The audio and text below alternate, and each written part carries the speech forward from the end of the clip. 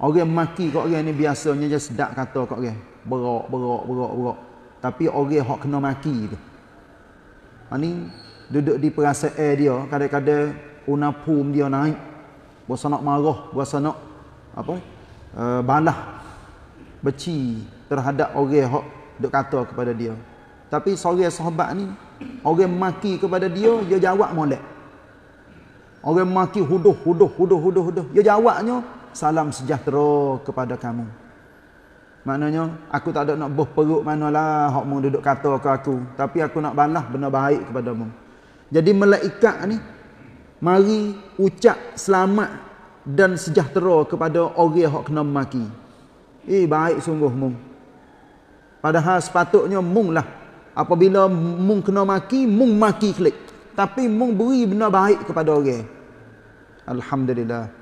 Ni saya rekah dengan cara mudah-mudah nak jadi kita mudah faham kata orang maki kepada kita kita jangan hidup kata huduh kat orang. Kalau boleh kita senyap kita sabar. Itulah. Wa idza khatabahumul jahiluna qalu salama. Ibadur rahman orang berjuruh orang baik sungguh apabila ada orang bodoh orang tak reti kata kepada dia dia kecek benda baik balah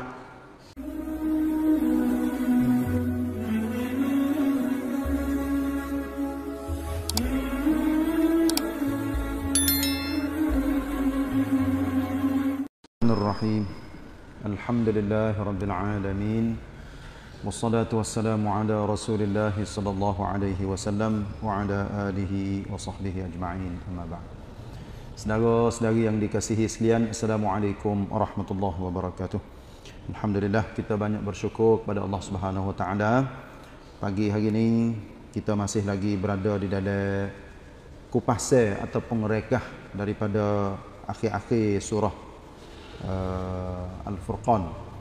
Jadi mula daripada ayat 63 sampai akhir surah iaitu ayat 77 surah Al-Furqan uh, sedikit sebanyak hubungnya dengan uh, apa ni ayat-ayat yang sudah pun kita baca sebelum ini. Uh, yang pertama, ini ada di dalam kitab Al-Misbahul Munir rekasa daripada tafsir Ibn Kathir. Iaitu nya hubungi dengan ibadur rahman uh, apa ni? Hamba-hamba Allah yang baik yang mulia. Maka uh, ada beberapa hadis sebagai berikut. Iaitu nya di muka 970 dalam kitab ni yang katanya uh, ada seorang hadis daripada An-Nu'man bin Muqrin Al-Muzani. Dia katanya sabda Rasulullah sallallahu alaihi wasallam uh, sebabnya ada seorang dok maki kepada seorang lagi di depan nabi. Ya. maka orang hak dimaki saat ni dia katanya alaikas salam. Maknanya dia tak tak ada nak buh perut sangat orang dok maki ke dia Maka Rasulullah sallallahu alaihi wasallam pun berkata, "Ama inna malakan bainakuma yadhubbu anka kullama shatamaka hadha qala lahu bal anta wa anta ahaqqu bih wa idza qulta lahu alayka assalam qala la bal alayka wa anta ahaqqu bih." Hadis ni jadi berlaku maki di antara dua orang di hadapan Nabi. Jadi orang hendak maki kat orang ni ni masuk dalam hurai selalu dak. Orang maki kat orang ni biasanya je sedap kata kat orang. Berok, berok, berok, berok. Tapi orang hak kena maki tu. Ha ni duduk di perasaan dia kadang-kadang unapum dia naik. Berasa nak marah, berasa nak apa? Uh, balah beci terhadap orang hak duk kata kepada dia. Tapi seorang sahabat ni Orang maki kepada dia, dia jawab molek. Orang maki huduh, huduh, huduh, huduh, huduh. Dia jawabnya, salam sejahtera kepada kamu. Maknanya, aku tak ada nak buh perut manalah hak mu duduk kata ke aku. Tapi aku nak balas benda baik kepadamu. Jadi malaikat ni, mari ucap selamat dan sejahtera kepada orang yang kena maki. Eh, baik sungguh mu. Padahal sepatutnya mung lah. Apabila mung kena maki, mung maki klik. Tapi mung beri benda baik kepada orang. Alhamdulillah. Ni saya rekah dengan cara mudah-mudah nak jadi kita mudah faham kata orang maki kepada kita kita jangan hidup kata huduh kat orang. Kalau boleh kita senyap, kita sabar. Itulah. Wa idza khatabahumul jahiluna qalu salama. Ibadur Rahman, orang berjuru, orang baik sungguh. Apabila ada orang bodoh, orang tak reti kata kepada dia, dia kecek benda baik balah. Dia tak ada nak balah benda-benda hak pasal kata huduh, maki dan sebagainya. So lagi, Orang yang menjadi ibadur rahman juga Iaitunya orang yang tidak melakukan Dosa-dosa besar Iaitunya orang yang tak syirik dengan Allah Orang tak bunuh orang orang tak berzina dan sebagainya. Ada hadis daripada Abdullah bin Mas'ud radhiyallahu anhu dia katanya suila Rasulullah sallallahu alaihi wasallam ayyu dhanbi akbar? Qal an taj'ala lillahi niddan wa huwa khalaqaka. Qal thumma ayyu? Qal an taqtula waladaka khashyata an yat'ama ma'ak. Qal thumma ayyu? قال أن تزاني حليلة جارك قال عبد الله وأنزل الله تصديق ذلك والذين لا يدعون مع الله إلها آخر الآية maksudnya satu kali Rasulullah sallallahu alaihi wasallam ditanya dosa apa kau yang amat besar maka nabi ayat katanya kamu syirik dengan Allah maknanya kamu sekutu dengan Allah duk minta lagi dengan benda lain duk percaya dengan benda lain sedangkan Allah menciptakan kamu. Lepas pada tu nabi ada lagi kau dosa besar? Nabi jawab katanya mung bunuh anak mung sebab mung takut dia duk makan hari makan makan ni sekali dengan kamu. Maknanya duk bosan bela-bela dah eh kalau dia anak ada dia duk makan hak kita sepatutnya sepinggir ni kita nak makan tapi anak kena duk makan sekali dengan kita kita boleh setengah pinggir anak kita boleh setengah pinggir. Ha tu mak maknanya orang pada zaman-zaman dahulu zaman lah ni pun serupa juga.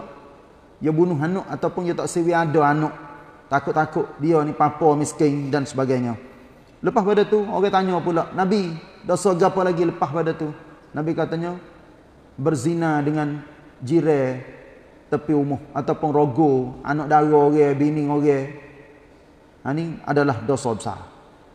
Sebab tu nah termasuk dalam hadis-hadis pasal ini ni banyak lagi hubungnya dengan dosa-dosa besar yang nabi royak. Nah seperti apa? Tuduh orang terutamanya tuduh orang tino yang bersih. Katanya dia berzina dia duk mengorak. Ngajate tu ngajate ni. Kadang-kadang orang tino dia dia tak pandai nak pergi nak pergi balah ataupun nak pergi riat wrong nak pergi tan gapo hok ge kata kepada dia. Gapo lagi hak nabi royak? Makan harta anak yatim makan rebo lari daripada medan perang dan sebagainya. Ni adalah dosa-dosa besar yang menjadi nah, terutamanya hadis yang nabi katanya ijtanibu as-sab'al mubiqat. Menjauhkanlah daripada tujuh dosa besar yang membahaya ataupun membinasakan. Apa tu nabi pun royak al-isyraku billah wa uququl walidain iaitu bersyirik dengan Allah Taala deraka kepada ibu bapa dan sebagainya. Mari pula uh, ayat wa may yaf'al dhalika yalqa athama sesiapa yang melakukan yang demikian maknanya dosa-dosa besar saat ni dia akan dicapok ataupun akan masuk di dalam satu uh, lubuk yang menjadi dosa besar dan balasan yang sangat hina. Berkata Abdullah bin Amru, dia katanya, athama di sini iaitu wadin fi jahannam. Satu lemah, satu kubai daripada neraka jahannam. Orang-orang selalunya duk buat dosa-dosa besar dalam hidup dia, wal iazubillah. Orang ni akan duduk di dalam neraka, duduk pasal dalam kubai. Wallahu alam kubai ni besar setara mana kita tak tahu tak? Nak neraka ni sangat besar, orang masuk dalam neraka pun besar. Lepas tu nak tubik tak boleh. Duduk situ. Sebab tu ahli-ahli neraka ni tu herayak banyak di dalam Quran. Terutamanya ayatnya kullama aradu an yakhruju minha u'idu fiha wa qila lahum dhuqu 'adzaban nar alladhi kuntum bihi tukadzibun setiap kali orang-orang ahli neraka nak lari dia nampak boleh jadi dia nampak ada lubang kali dok taknya harap pe mudah-mudahan eh lubang tu boleh aku tubik kali. Lari lari lari lari lari. Apabila dekat-dekat dah nak sampai di lubang tu u'idu fiha. Dikembalikan semula duduk di dalam neraka padahal lubang tu pun tekah puak-puak dia duduk dalam neraka yang nampak katanya boleh jadi tang ok bagi mereka. Lepas tu apabila dikembali semula ditenang oleh malaikat masuk duduk dalam neraka dikatakan kepada puak-puak dia. Zuqu azaban nar merasakanlah apa azab neraka. Supaya ayat yang dibaca oleh Behing saat ini dalam surah An-Naba. Iaitu nya fadhuqu dhuqu falan nazidakum illa azaba. Tuhan raya kepada ahli neraka ni merasakanlah azab neraka dan tidak ada tambah kepada mu kecuali azab azab azab azab Tuhan raya di dalam ayat lain azaban fawqal azab azab di atas azab kita tak tahu benar-benar pasal ini ni sengsara dan pedih setakat mana orang hak kena azab atas azab. Kita tahu atas dunia ni sakit, sakit, sakit, mati. Cakap tu ya.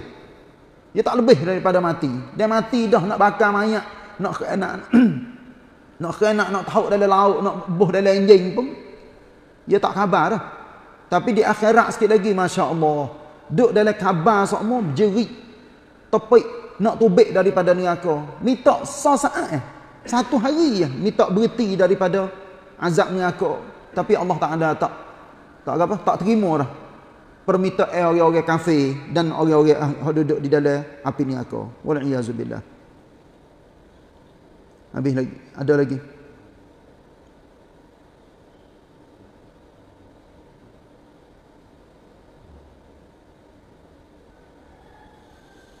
Hak ni dosa dia. Allahu akbar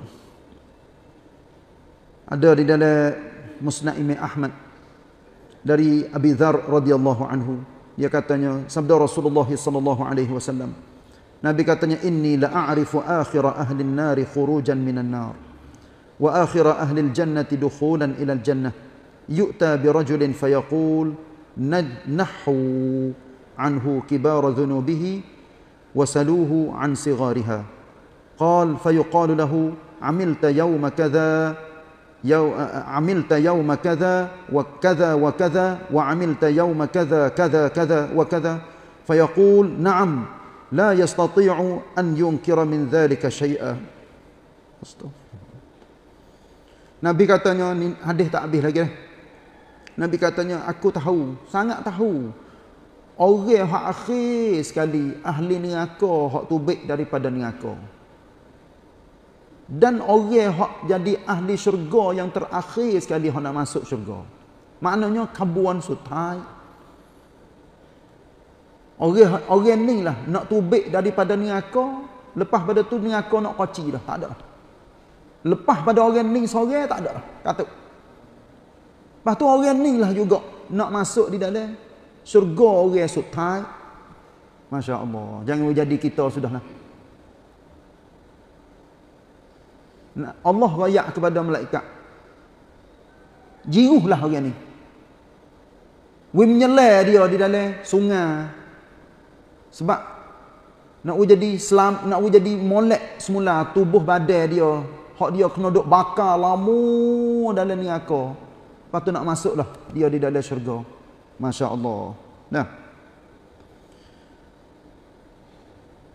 Sungguh malaikat tanya. Tentang apa? dosa-dosa hak dia dok buat dia mengaku habis kebaikan hak dia dok buat ada tak walaupun kecil sekalipun dia pun dok ingat ingat lama dia kata ya dia ada benar hak dia dok buat walaupun sikit kebaikan malaikat tanya dia sop suan dia so so so go to go to go to sebab itulah nabi sebut katanya mung ngaku tak katanya mung buat gotu pada hari itu pada hari itu pada hari itu yo yo yo yo yo jawab yo yo yo mengaku habis. Benda hak dia duk buat. masya-Allah lepas pada tu Fayaqul, "Na'am." Dia kata, "Ya." La yastati'u an yang an yunkira min dhalika syai'a. Dia tak participate walaupun sikit pun. Mengaku habis gapo dia dak buat. Fayuqal fa inna laka bi kulli sayyi'atin hasanah. Allah Taala apung dosa dia ni. Tuhan royak kepada dia. Bagi mung hak mung buat dosa tapi mung mari mengaku hari ni aku balah kepada mung kebaikan belaka. Maknanya pelik daripada hak jahat tapi aku wi kebaikan kepada mung sebagai pahala. Inilah yang Allah Taala royak di dalam ayat ulaika yubaddilullahu sayyiatihim hasanat. Mereka itu orang yang Allah Taala balik kejahatan hak dia duk buat duk buat duk buat jadi benda baik sebab apa tu tiga syarat penting. Iaitu nya illa man taba wa amana wa amila amalan salihah orang hak biasa duk buat jahat karut atas muka dunia ni tu hewi peluang sokmo supaya dia kelap tua. Balik semula klik semula. Tapi kenanya berime beram apa ni? Illa man taba iaitu orang yang bertaubat orang yang berime benar-benar berime dan beramal soleh sebab tu kita เบื้องหน้าเบื้องหลังของแต่ละคน memang dia tak serupa orang tu orang ni orang tu orang ni tapi tak sepatut tak moleknya kita duk pergi royak benda karut-karut hak kita biasa duk buat dulu-dulu kita duk bagi kat orang duk royak kat orang ni tak molek kita nak katuk rahsia kita dengan Allah we jadi kita dengan Allah saja jangan kita duk pergi royak oh aku dulu kan teruk go tu go ni go tu ni tak usah duk perpong kejahatan kita tapi kita kalau kita nak tanya masalah nak periksa hari kita boleh royak sekadar-sekadar katanya kita ni tak baik mana dulu. Tapi lah ni kita nak berhenti dah. Tak sih dah. Dulu, tak sedut royak. Eh? Oh dulu kita biasa berzina. Dulu kita bunuh orang. Dulu kita katok orang. Kita bercuri, kita gatu. Jadi orang yang dengar pak tu dia tahu katanya rahsia kita. Kita orang tak berjuru. Kita royak pasang ruam-ruam sudah. Katanya kita orang. Dulu kita tak berjuru sangat. Tapi lah ni kita ngaji dah. Reti dah. Nak amal dah. Nak tobat dah ada peluang tak tolong neknam kepada kita buat gapo kita nak jadi orang berjuru ha ni turut hasan ni ambil daripada ayat illa man taba wa amana wa amila amalan salihah. Iaitu nya orang yang gapo taubat orang beriman sungguh-sungguh patut orang yang beramal dengan amal soleh. masya-Allah. Sebab tu kena dah. Hidup kita kalau sekiranya kita duduk di atas jalan betul benar beriman mengaji belajar Ngaji pun ngaji hak betul selalu, amal pun amal hak betul selalu. Insya-Allah jaya bagi orang-orang yang hidup di atas muka dunia yang dia mengaku katanya kejahatan yang dia buat sikit sebanyak tu Allah Taala akan ampun sikit lagi di akhirat dan apung atas muka dunia sebelum pada dia nak mati. Dengan sebab apa? Dia betul sendiri hidup dia. Orang ni semua duduk di hati dah. Saya nak ayat katanya penting benar duduk di hati, duduk di kesedaran. Kalau dia hati su mai wai ataupun hati duk tak sen nak, nak buat lagi maksiat. Walaupun tua hebat umur 70 80 nak duk dalam maksiat lagi tak sen mengaji lagi. Cara kata orang tu tanda katanya Allah Taala katuk rahmat hati dia. Sebab ada dalam hadis Nabi ayat katanya Allah meng we play we apa ni masa kepada orang supaya dia bertobat. Kalulah umur 90 lagi masih duduk buat maksiat. Cek katanya alamat-alamat katanya dia nak mati kau tak molek. Ni Nabi sebut di dalam hadis. Sebab tu orang umur kau banyak kau banyak ni dia kena insaf. Kena sedar. Kena mikir banyak. Kena menangis tu jadi banyak sikit. Doa banyak, insaf banyak duduk dia atas tikar semaya ataupun duduk dia dia ingat banyak kepada Allah. Sebab tu saya rakyat katanya benglang kong telekon dia tak supo. Walaupun kita tengok dia tu nampak berjuruh. Tapi boleh jadi dulu dia lobby. Dia karut. Boleh jadi dia molek sejak daripada kecil-kecil lagi. Dia berjuruh, molek. Keluarga dia molek. Dia pun jadi sekarang ni siapa kamu banyak pun. Duk jadi molek semua. Ada juga kita bosannya molek molek molek molek molek tapi ban pelan ciwit jadi terbalik. Jadi kau tak molek. Dulu nampak duk pergi semaya sokmo, duk baca Quran molek, duk mengaji dia tapi learning nampak tak ada duk tak ada belah mana. Ha tu. Kita tak ada skor katanya dia go to ke ni, tapi hidup kita ni kena jadi istiqamah sebanyak mungkin nak untuk kehidupan kita yang baik. Insya-Allah. Akhir sekali iaitu ikut ibadur rahman saat ni ni sebagai ayat akhir sekali uh, ni hadis ni selalu kita dengar hadis daripada Abi Hurairah radhiyallahu anhu dia, dia berkata sabda Rasulullah sallallahu alaihi wasallam idza mata ibnu adam in qata'a amaluhu illa min thalath waladin salihin yad'u lahu aw ilmin yuntafa'u bihi min ba'dih aw sadaqatin jariyah ini selalu kita dengar cuma mata hadis yang berlain ni. Nabi katanya apabila seorang anak ada tu mati, ni kita anak ada belakang ni tak? Mati, maka terputuslah amalan dia. Dia nak pergi semaya, nak pergi puasa, nak buat kebajikan, tak ada peluang dah. Sebab dia mati. Kecuali tiga perkara. Hak tiga perkara ni lah, walaupun orang tu, dia tak ada nak buat. Tapi tiga perkara ni dia jadi pahala pecah kepada dia. Dia siapa sokmo yang pertama sekali, anak soleh yang sentiasa berdoa kepada dia. Ha, ni kita lagu tu kita dengan mak pak kita tok nenek kita kita kena jadi anak soleh. Kena berdoa semua kepada mak pak. Ajar anak-anak kita supaya berdoa kepada kita kepada mak pak. Lepas tu kita pun kena doa semua minta supaya Allah Taala bubuh benih agama benda-benda baik nur cahaya di dalam anak cucu kita. Alhamdulillah.